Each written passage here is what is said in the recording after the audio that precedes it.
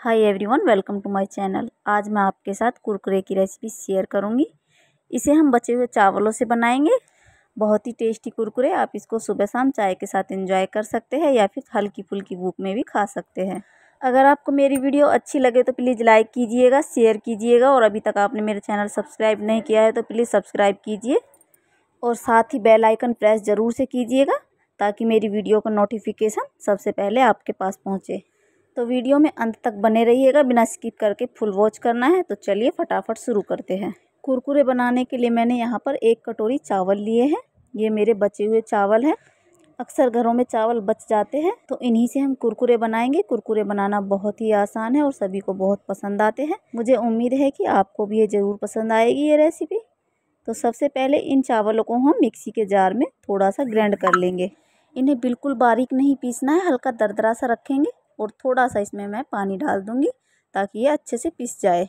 पानी चार से पाँच चम्मच के करीब डाला है और ये देखिए मैंने इसे ग्राइंड कर लिया और एक बाउल में निकाल लिया है। अब आप इसको देख सकते हैं कितना गाढ़ा है और किस तरह की कंसिस्टेंसी का है। और इसे मैंने बिल्कुल बारीक नहीं पीसा है, हल्का सा इसमें चावल का दाना दिखाई दे रहा है।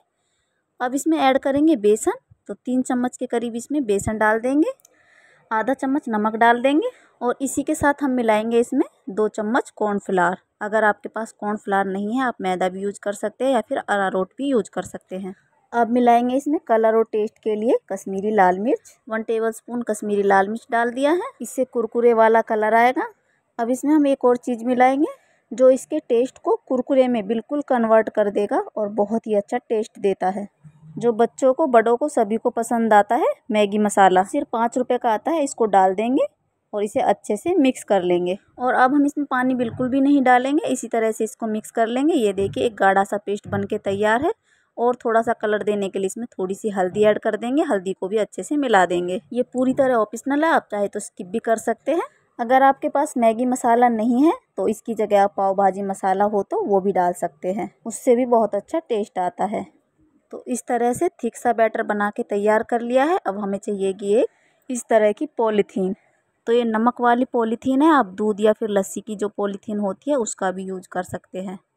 कोई भी पैकेट आते हैं आपके पास, कोई भी नमक या फिर दाल वगैरह के पैकेट कोई भी हो, आप किसी का भी यूज़ कर सकते हैं। तो जो ये हमने मिक्सचर बना के तैयार किया है, इसके अंदर हम डाल लेंगे।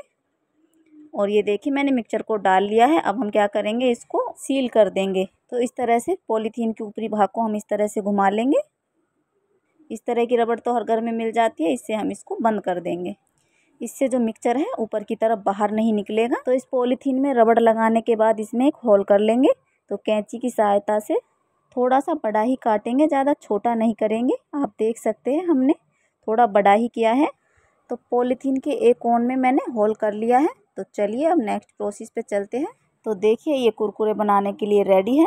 अब मैंने एक कढ़ाई में तेल ले लिया है। मैंने सरसों का तेल यूज़ किया है। आप कोई भी कुकिंग ऑयल यूज़ कर सकते हैं। तो गैस को ऑन कर दिया है तेल को अच्छे से गर्म होने देंगे। और ये देखिए, तेल अच्छे से गर्म हो गया है। तो तेल को मैं थोड़ा सा चेक कर लेती हूँ। तो थोड़ा सा मैंने जो मिक्सचर है, कढ़ाई के अंदर डाल दिया है। और ये देखिए कुरकुरा है जो ऊपर तैर के आ गया फट से। तो तेल हमारा मीडियम गर्म है। तो तेल गर्म है, अब हम इसको निकाल लेते हैं। और इसमें हम डालेंगे अपने कुरकुरे बनाने के लिए। ये देखिए, इस तरीके से मैं इसको डालती जाऊँगी। तो पॉलीथीन को थोड़ा सा प्रेस करेंगे और ये मिक्सचर अपने आप बाहर आ जाएगा। और आप चाहे तो इस तरह कैंची की हेल्प से ये कुरकुरे बना सकते हैं। ये एक ही साइज़ के बनेंगे। ये देखिए, आप वीडियो में देख पा रहे हैं, बस इसी तरह से आपको बनाने हैं। और इस तरीके से भी ये बहुत ही आसानी से बन जाते हैं। और आप बिना कैंची के बनाना चाहते हैं तो थोड़ा सा प्रेस कीजिए, वापस से पैक ले लीजिए। थोड़ा सा ही पुश करने से मिक्सचर बाहर आ जाता है और फिर वापस से हाथ को ढीला बहुत ही आसान तरीका है और साइज़ भी बिल्कुल एक सार आएगा। तो आप इस तरीके से बनाना चाहो तो जिस तरीके से भी बना सकते हो तो दोनों तरीके मैंने आपके साथ शेयर किए हैं। और इन्हें डालने के बाद तुरंत ना चलाए थोड़ा सा इन्हें सीखने दें तब इन्हें घुमाते हुए चलाए और देखिए बहुत ही प्यारा कलर आ गया है। ये अच्छे से फ्राई हो गए हैं। इन्हें फ्राई होने में ज़्यादा टाइम नहीं लगता है। बहुत ही जल्दी ये फ्राई हो जाते हैं। तो एक बार और फिर से दिखा देती हूँ मैं आपको। आप चाहे तो बिल्कुल कुरकुरे के साइज़ का बना सकते हैं। आप इस तरीके से थोड़ा सा निकालिए और इस तरीके से कट कर दीजिए। बहुत ही आसान तरीका है और इस तरह से एक साइज़ के बनते हैं और इन्हें फ्राई करते टाइम गैस की फ्लेम को मीडियम टू लो पर रखेंगे और ये देखिए दूसरा बैच भी मैंने फ्राई कर लिया है।